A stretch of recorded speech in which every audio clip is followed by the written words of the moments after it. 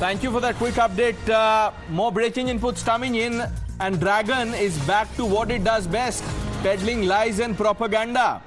After being pushed back, after being given a hammer blow at Tawang by Indian forces, look what China is saying. This is Xi's propaganda machinery in an overdrive. Chinese military is now saying that Indian troops illegally crossed the disputed border. China now once again resorting to lies. The Raksha Mantri made it clear in parliament that it was the Chinese PLA that tried to alter the status quo, that tried to breach the peace pact.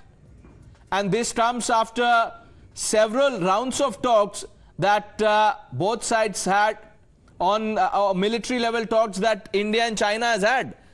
But in Tawang, the Chinese PLA, with a clear intention to provoke, tried to trespass something that Rajnath Singh has confirmed, that the government has confirmed. It was the Chinese military, the Chinese forces, the PLA, that tried to breach the peace pact and tried to alter the status quo.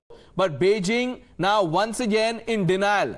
But what do you expect from a country that is still lying and in denial about the losses it and the humiliation it suffered in Galwan? This is the Galwan template that China is now adopting in Tawang. Indian army pushed back, our braves fought valiantly, pushed back the PLA, chased them away, but China is now blaming India. Propaganda works best for Xi Jinping. Srinjoy Chaudhary now joining us for more on this. Srinjoy, are you surprised?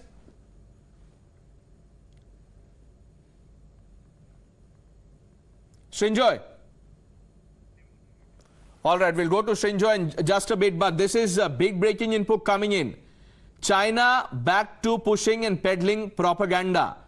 Just a few uh, moments ago, we told you how Beijing is now trying to play down the humiliation, the embarrassment it had to face in Tawang after India pushed back the PLA firmly.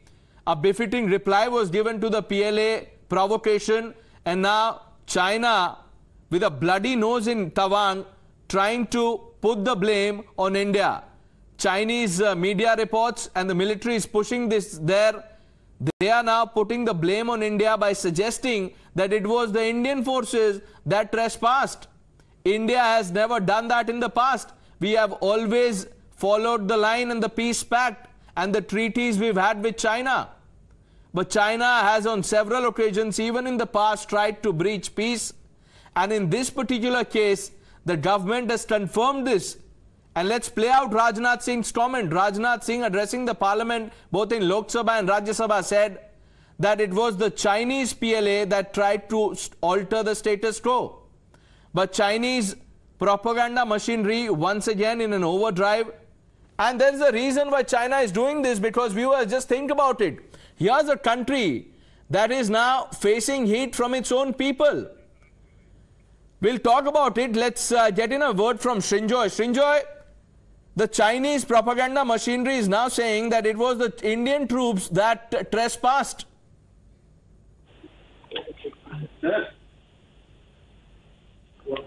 Hello. Yes, Srinjoy, if you can hear you. If you can Yes, hear me, yes. we can hear you clearly. Go ahead. Yes, Pranesh, if if you have to believe China, then thousands of Indians, troops and civilians have trespassed because China believes that all of Arunachal Pradesh is Chinese.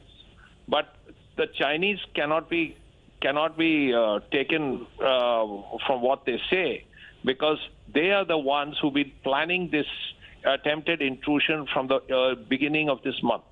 They are the ones who have built up troops in that area. They are the ones who came in at about two o'clock in the morning, two thirty in the morning. So if that is so, then how is India uh, being blamed for this? India saw that this build-up was happening over a period of time. For about seven, ten days, this was happening. There was an altercation, uh, not a clash, an altercation on the 31st or 30th or the 1st. But after that, the Chinese have been building up, and they are still building up, is the point. So as a result, when the Chinese uh, moved in or tried to move in, India was ready. All the Indian troops were there. At the place where the main clash took place, you had uh, troops from the uh, JAK RIF there, and they stood firm. They pushed the Chinese back. In the other place also, that was much smaller, much less intense.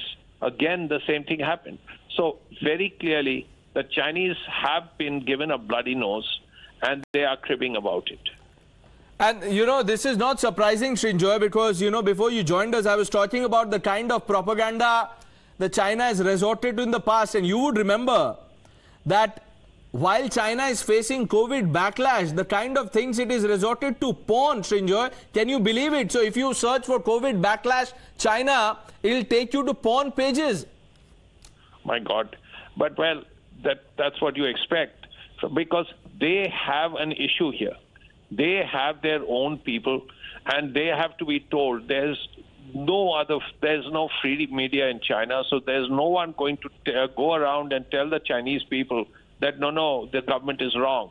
So they have clear access to their people, and they tell the people what they want. That's really the bottom line. China wants to blame India because China believes that it can, whatever it says to the people of China, it will be accepted. On with us, so hold on to that line. Let's play out what Rajnath Singh, the Raksha Mantri, said in Parliament. हमारी सेना ने दृढ़ता के साथ सामना किया है अध्यक्ष महोदय और इस और इस फेस ऑफ़ में हाथापाई भी हुई है भारतीय सेना ने बहादुरी से पीएलए को हमारी टेरिटरी में अतिक्रमण करने से रोका और उन्हें उनकी पोस्ट पर वापस जाने के लिए मजबूर कर दिया अध्यक्ष महोदय कि हमारे किसी भी सैनिक की न तो मृत्यु हुई है और न ही कोई गंभीर रूप से घायल हुआ है। जब तक भारतीय जनता पार्टी की मोदी सरकार चल रही है, एक इंच ज़मीन पर भी कोई कब्जा नहीं कर सकता। कल अपने सेना के जवानों ने जो आठ की देर रात को और नौ की सुबह को जो वीरता दिखाई है, मैं इसकी बुरी बुरी प्रशंसा करता हूँ। इन्होंने घुसे हुए सभी लोगों को कुछ ही घंटों में वापस खदेड़ दिया और हमारी भूमि का रक्षण किया है। Srinjoy, after the Raksha Mantri says this in Parliament, obviously rattled the Chinese propaganda machinery in an overdrive. Oh, undoubtedly. You see, what happens is the Chinese have always said that we don't listen to X and Y and Z speaking. We only listen to what the government says. And if the government has said this, and if the government has said this in parliament, uh, then the Chinese will surely be rattled. Because the Chinese know that this is the truth, and this is the truth they don't want their people to know. So that is why you have all these fabrications that the Chinese will involve in, that India illegally trespassed and this and that and so on and so forth. What basically has happened is that the Chinese tried to push the Indians out, and in, the Indians have given a bloody nose. That's really the bottom line. The Chinese got a bloody nose and now they are lying with a straight face. So Srinjoy, thanks for that quick update.